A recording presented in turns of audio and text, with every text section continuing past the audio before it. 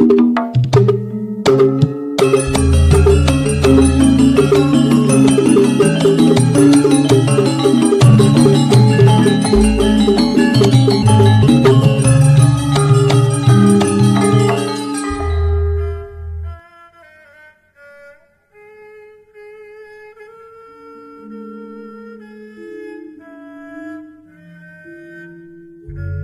Bapak Ibu para kadang kinasih simbah-simbah lan adik-adik para rama suster bruder berkah dalem Gusti.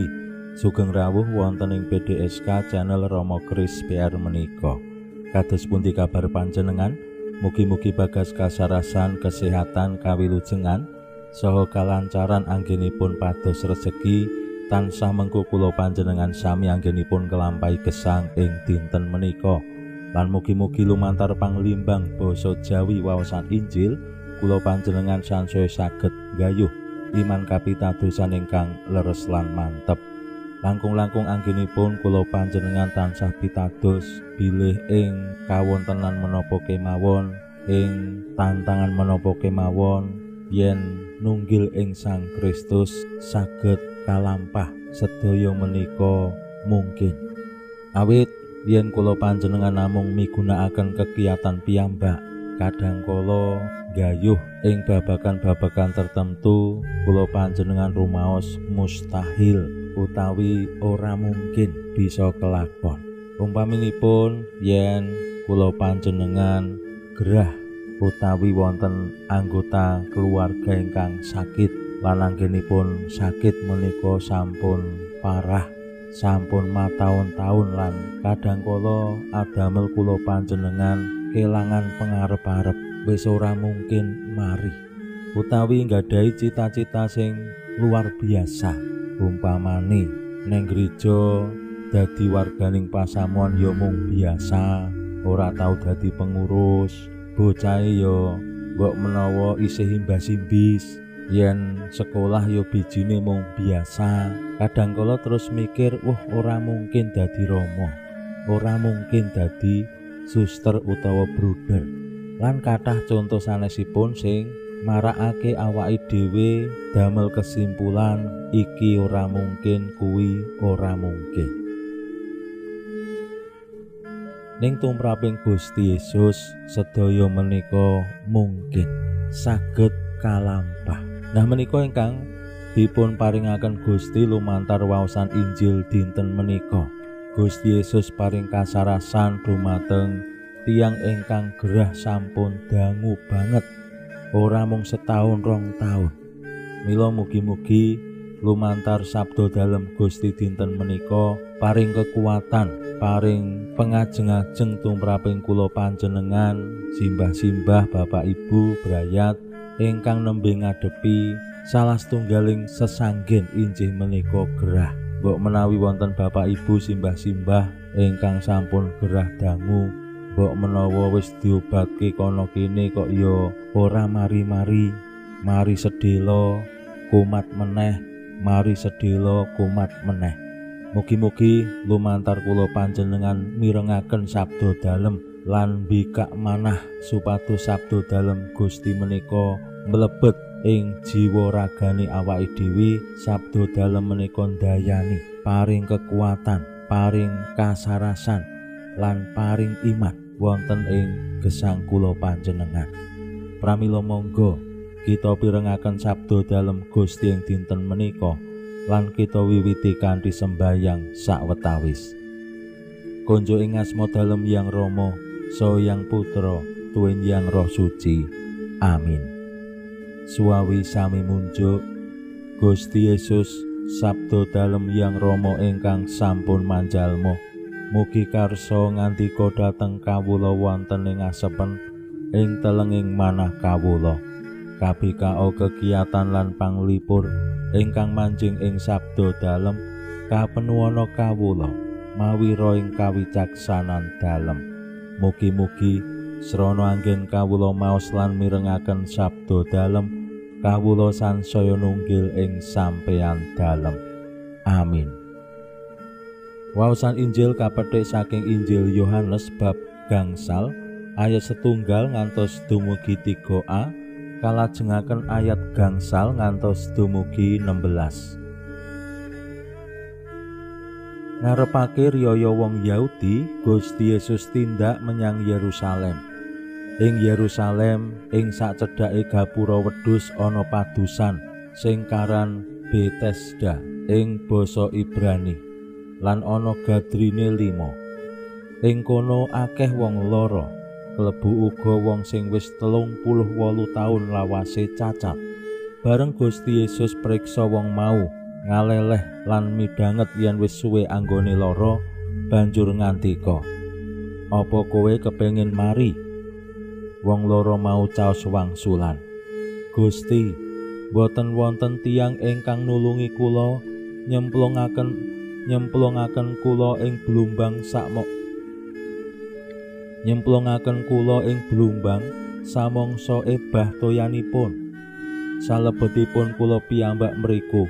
Sampun wonten tiang sanes ingkang rumiyini ambyur.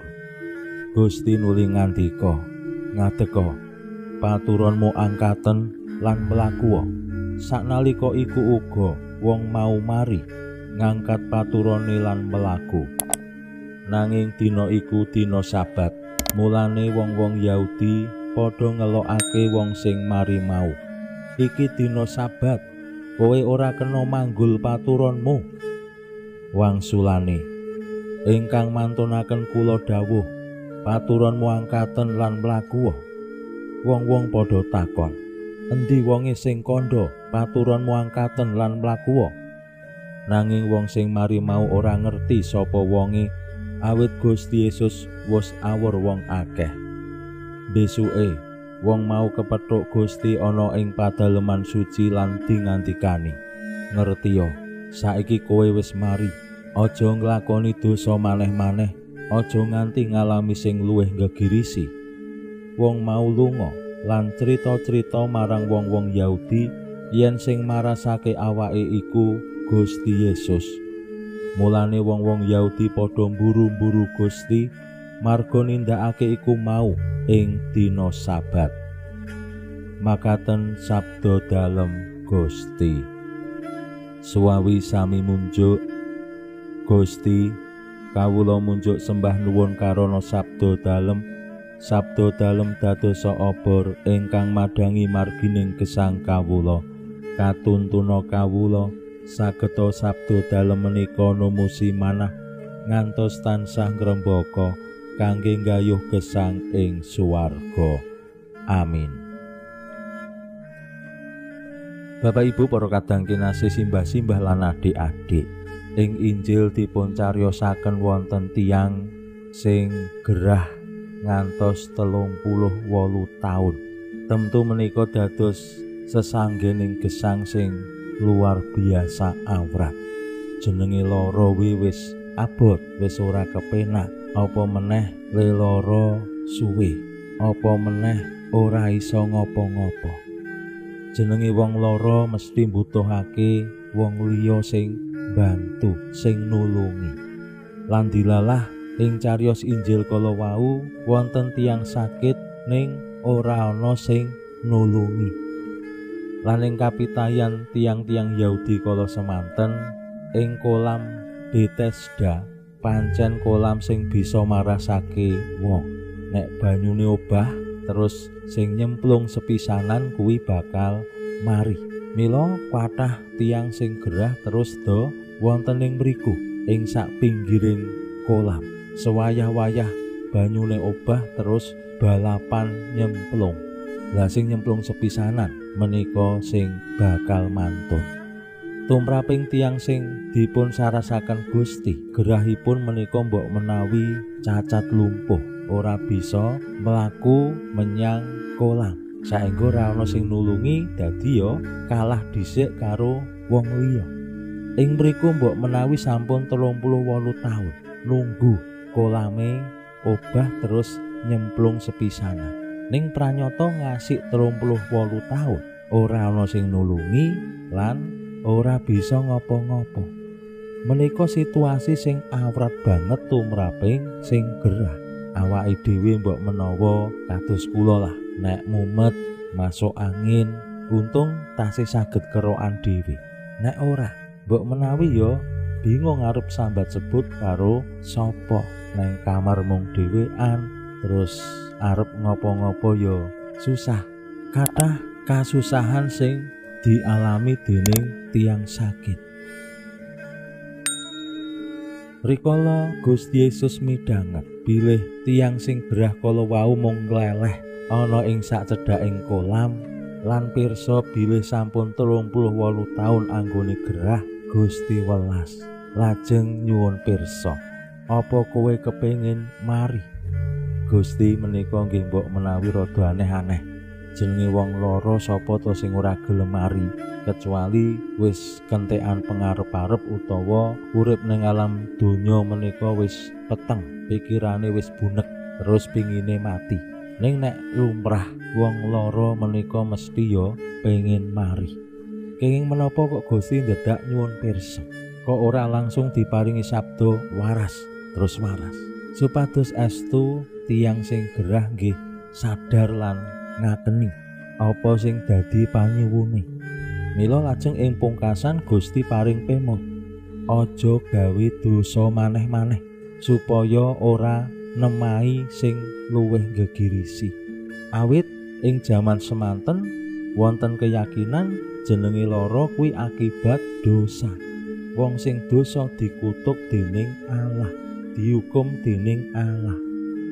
Mugi-mugi lumantar sabdo dalem Gusti dinten menika kula panjenengan sansaya makantar-kantar anggenipun bangun iman kapitadosan lan kasucian supados leloro penyakit ingkang belenggu awake dhewe sacara jasmani menapa rohani menika estu kabucal tebih dening Gusti saengga awake dhewe uga bisa nggayuh kasucian badan lan jiwa sing resik Pinujiyo Allah sak menika sarta ing salami-laminipun. Salam sehat, salam bahagia, salam katentreman. Lan mugi-mugi lumantar panglimbang dinten menika kula panjenengan tansah jinangkung ing berkah dalem Gusti ingkang Maha Yang Rama, so yang Putra, tuwin yang Roh Suci. Amin.